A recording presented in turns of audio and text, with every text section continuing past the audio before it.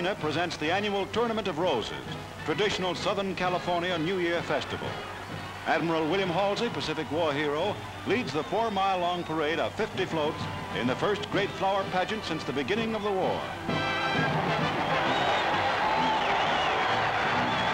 The tournament's queen rides past a record crowd of a million and a half spectators. Victory and peace are the keynotes of this year's pageant. San Francisco's float recalls its part in the framing of the United Nations Charter.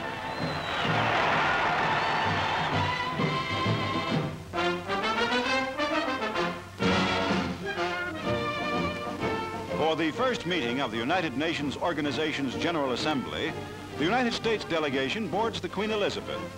Edward Stettinius, Mrs. Franklin D. Roosevelt, and Senators Connally and Vandenberg will represent the United States in opening the great and hopeful meeting for world peace.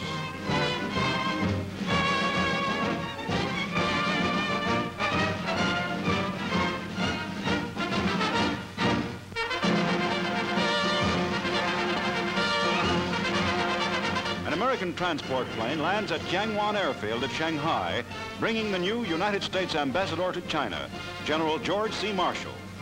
War Minister Ho Ying-chin, the mayor of Shanghai, and United States General Wedemeyer extend official welcome.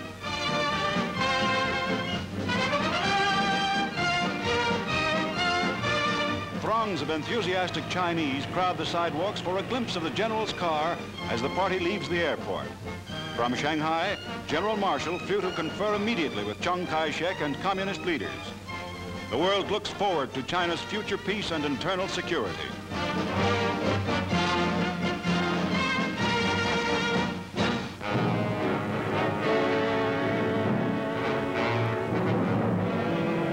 California port, a transport lies ready to take a group of Japanese war prisoners away from the United States. Most of them will go to Hawaii for reassignment to construction work in the devastated areas of the Pacific before ultimate return to Japan. They make the trip in vessels which will bring American soldiers back home.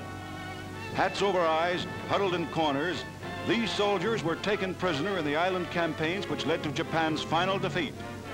All prisoners of war held in America will have been returned by April.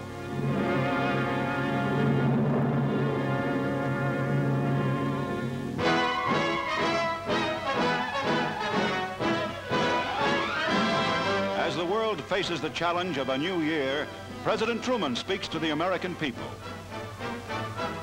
1946 is our year of decision.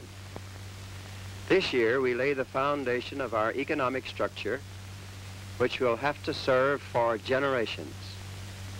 This year we must decide whether or not we shall devote our strength to reaching the goal of full production and full employment. This year we will have to make the decisions which will determine whether or not we gain that great future at home and abroad which we fought so valiantly to achieve. We cannot shirk leadership in the post-war world. The problems of our economy will not be solved by timid men mistrustful of each other. We cannot face 1946 in a spirit of drift and irresolution. The men and women who made this country great and kept it free were plain people with courage and faith. Let us justify this heritage.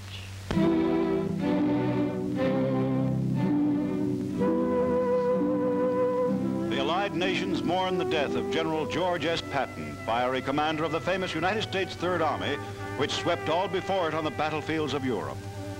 Returning to the ancient Duchy of Luxembourg, liberated a year ago by Patton's army en route to Germany, come the remains of the famous general who survived two wars only to die of injuries received in an automobile accident. His widow accompanies the casket as it is borne in an army vehicle through the silent streets of a grave and grateful city. The cortege, continuing to the nearby American cemetery, includes the general's horse, its saddle tied with crepe, and the general's boots reversed in the stirrups.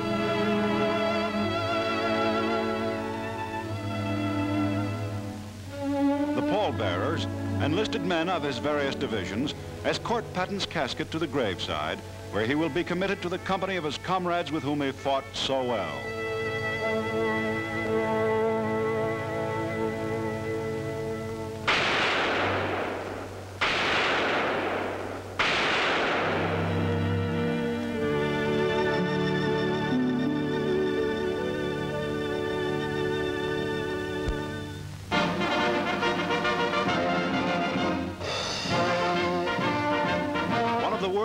Famous ships brings home one of America's most famous fighting units.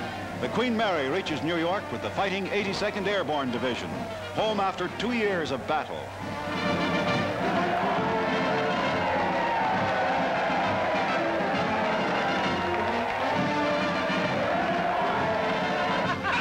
One soldier couldn't wait for the big ship to dock. He bet his comrades he'd be the first man ashore, and he had to get wet to win.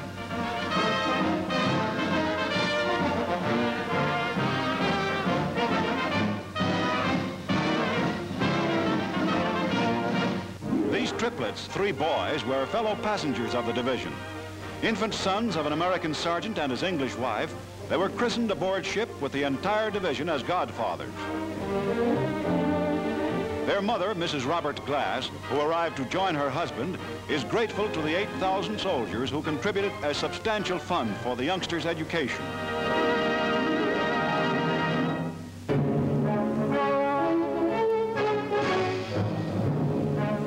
Same building in Manila, where General Yamashita was recently sentenced to hang, another leading Japanese general goes on trial for war crimes.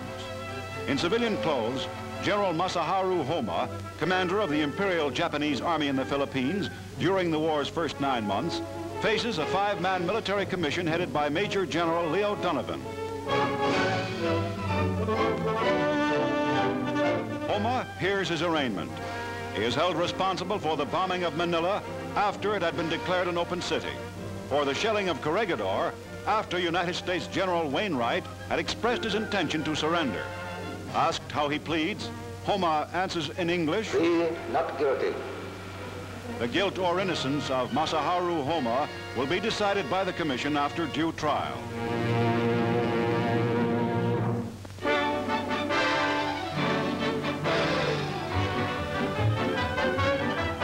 America's winter sports resorts are crowded as wartime travel restrictions are eased. In New Hampshire, the skiers take advantage of comfortable new ski tows.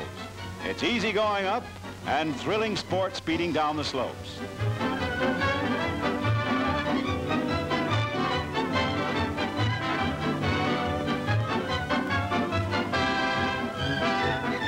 In memory of Torger Tokl, America's leading pre-war ski jumper, a memorial meeting is held in New York State. Tokl, who was killed with the United States Army in Italy, won many competitions on this Bear Mountain jump.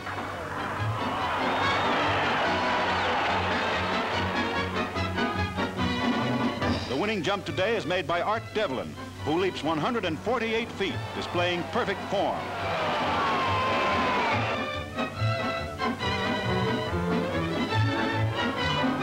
But all are not so lucky or skillful. Spill follows spill as the lesser lights try hard to follow in the master skier's ski tracks.